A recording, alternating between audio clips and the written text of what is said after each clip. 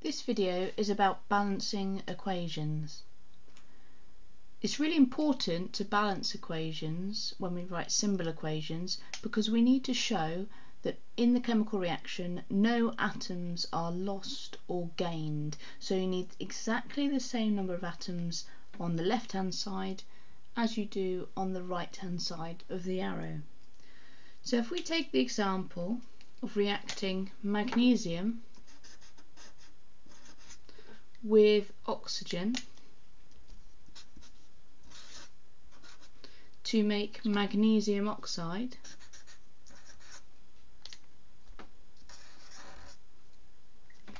When we react with magnesium with oxygen it forms a new compound which is magnesium oxide. Now you might be wondering why we've written Mg without a number but O2 with the number 2 and that's because oxygen goes around in pairs. Okay, so that's why we call it O2 because it is two atoms of oxygen bonded with each other. Magnesium, on the other hand, doesn't, but we don't write the little number 1. It's just like algebra, you never write the number 1, you only write if there are more than one atoms. So magnesium we can just show with one atom like this. When magnesium and oxygen react together they make magnesium oxide. As you can see there are no numbers next to the Mg or the O therefore there is only one atom of Mg, magnesium, bonded to one atom of oxygen. So if we were to draw this, we draw one atom of magnesium bonded to one atom of oxygen. But here we have our problem. We need the same number of atoms this side as we do on this side of the equation. But as you can see here, we've got two oxygen atoms and over here we only have one. We have one magnesium and as far as this one's concerned at the moment this is okay because we have the same number of magnesiums on this side. We now need to make sure that we have the same number of atoms either side of the equation and the only way that we do that is by putting numbers in front of the substances here or here. We cannot in any way change any small numbers by the molecules because these tell us what the molecule or compound is like. So we can't put any little numbers in at the bottom, we can't change any numbers at the bottom. The only thing we can do is put multiply numbers at the front of the substances. So first of all what we do is count how many of each element we've got on each side. So I'm going to start to list my elements. We've got magnesium and we've got one of those and we've got oxygen and we've got two of those. On the right hand side of the equation obviously we've got the same elements magnesium and oxygen but this time we've got only one magnesium and one oxygen. So on this side of the equation we need to make sure that there are two oxygens and the only way that we can do that is by putting a number 2 in front of the magnesium oxide. That means we have two lots of this compound magnesium oxide. So what we could do is now we've put the number 2 in front of it, we could draw another magnesium oxide. Because all we're saying is now we've got two lots of magnesium oxide. So we can change the numbers of the elements that we've got, now got.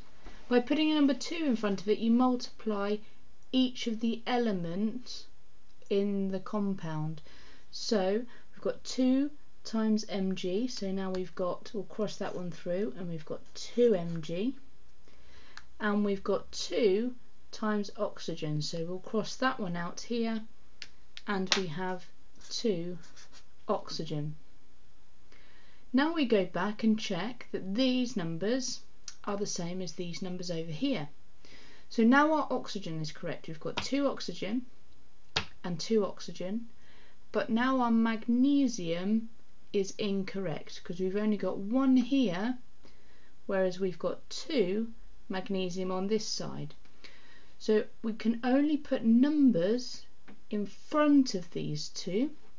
We don't need to change the oxygen because we've got two on each side already, but we do need to make the number of magnesium become 2. So we can put a big 2 multiplier in front of the magnesium. So now we can have another magnesium here. We'll cross this through and we'll put 2 magnesium. And we should see now that this equation is balanced. So you have 2 magnesium, 2 oxygen, 2 magnesium and 2 oxygen. And if you count up the atoms, 2 red magnesiums there, two red magnesiums, two oxygens, and two oxygens. So now that equation is balanced. If we try another example, we could have, for example, calcium plus hydrochloric acid. So I'll try and do the elements in different colours to help you out. So we've got H and then Cl and on the other side we would have Ca Cl2 and then plus hydrogen. So if we were to draw this out again we'd have Ca and we've got no numbers here so we need to assume that that's a 1. We've got H and Cl bonded together So that's our HCl molecule.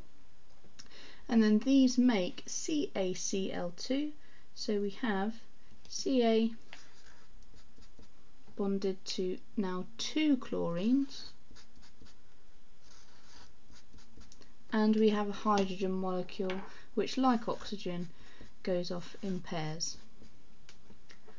So just like before, we can start making a list of our elements that we've got each side. So here we've got Ca, H and Cl for calcium, hydrogen and chlorine and exactly the same the other side. Ca, H and Cl. Now we need to count up how many atoms of each element that we've got. So here there's no number, so we know that's one calcium. There's no number next to H, so we know that's one hydrogen. And there's no number next to chlorine, so we know that is one chlorine. On the other side, there's no number next to Ca, so we know that's 1.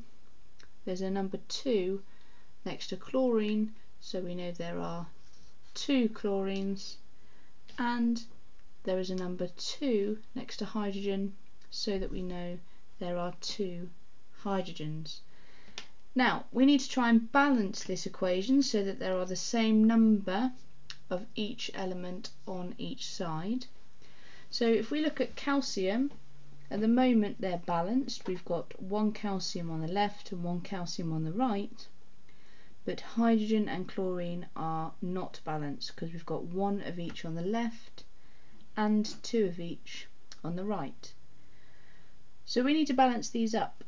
So on this side, if we were to put a 2 in front of this HCl molecule, we would now have two hydrogens and two chlorines. And we need to check now we've done something whether they're now balanced up. So we've got one calcium two hydrogens two chlorines on the left one calcium two hydrogens and two chlorines on the right so if we were to draw these as the atom symbols we would just have two lots of hydrogen chloride here and they would bond together to make calcium chloride and hydrogen given off as well. It's always good practice to write down the number of each element you've got each side and then try to balance them up. So now it's your turn to have a go at a few um, balancing equations yourself. Here are three examples. Pause the video now and try and balance these equations here. So let's see how you got on. Starting with this equation, magnesium plus hydrochloric acid makes magnesium chloride plus hydrogen. So the first thing we do is list the elements we've got. We've got Mg, H and Cl. So on this side we've got 1 Mg, 1 H and 1 Cl. On the right hand side of the equation we've got 1 Mg, 2 Cl and 2 H's for hydrogen. So we need to put some numbers in front of some of the substances to make these balanced. So because we need to balance the hydrogens and the chlorines, if we put a number 2 in front of the H and the Cl, we would now have two H's, because it's 2 times H, and two Cl's, and we can see that that equation is now balanced. Our second example, again we follow the same practice, list out the elements that we've got, Na and O, and on this side Na and O. So we've got one Na on the left, two oxygens, and on the right we've got two NAs and one oxygen. So we need to balance both the sodium, the Na, and the oxygen. So if we were to put 2 um, in front of this, the sodium oxide, we would be able to balance up the number of oxygens. So we've got 2 on this side and now we have 2 times the oxygen on this side. However, we've changed now the number of sodiums because we no longer just have 2 because we've put this multiplier 2 in front, we have two lots of two sodiums. So we have 2 times 2, which is 4 sodiums now. So now we need to go back over to the left hand side and try and balance up the sodiums. The oxygens are okay, we can leave those, but we need 4 sodiums. So we will have to put a number 4 in front of the sodiums. Now we have 4 sodiums two oxygens on the left and four sodiums and two oxygens on the right.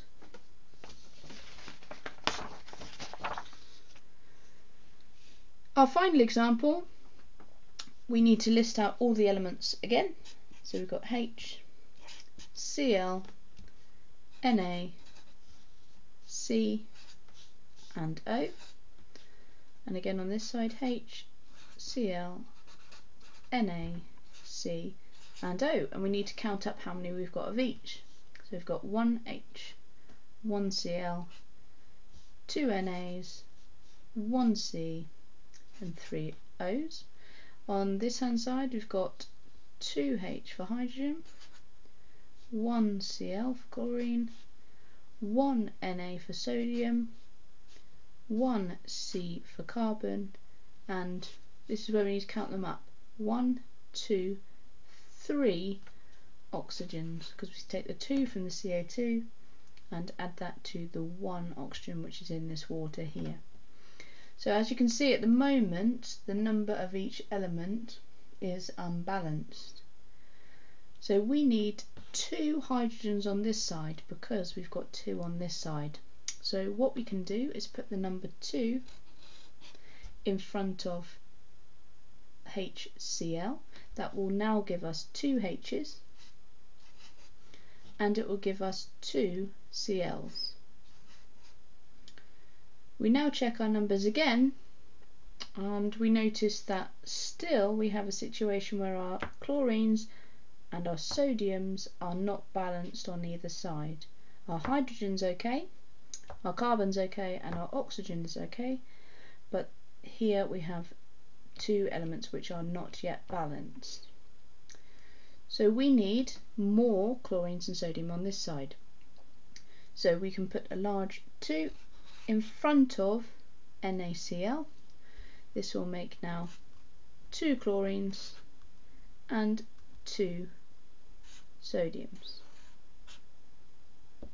And that is now the equation balanced. We can check here the number of atoms of each element and make sure that they are balanced. Now with all these balancing equations, it's a little bit of um, trial and error. Don't forget you can only ever put the numbers in front of the substances. You can't change these small numbers which tell you what the compound or the molecule looks like.